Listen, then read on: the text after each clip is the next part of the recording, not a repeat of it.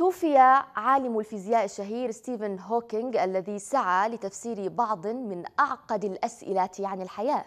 في ساعة توفي في ساعة مبكرة اليوم عن 76 عاما. الوفاة حدثت بهدوء في منزل هوكينج في مدينة كامبريدج الجامعية البريطانية بحسب البيان الذي نشره أبناؤه لوسي وروبرت وتيم. وقال الأبناء إنهم يشعرون بحزن عميق لوفاة أبيهم.